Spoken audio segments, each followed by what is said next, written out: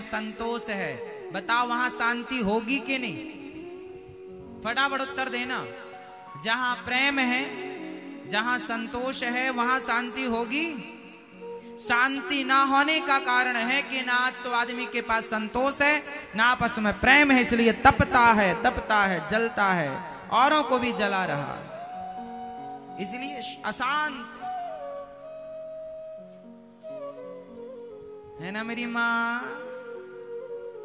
तो आपके जीवन में क्या ज़रूरी है? प्रेम, आपस में। और दूसरा,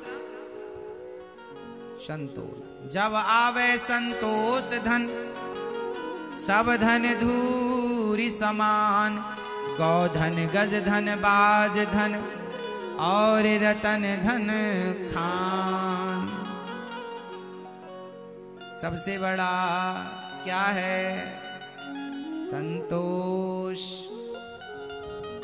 हमें तो बड़ा संतोष है इस बात का कि हमारे भगवान हैं।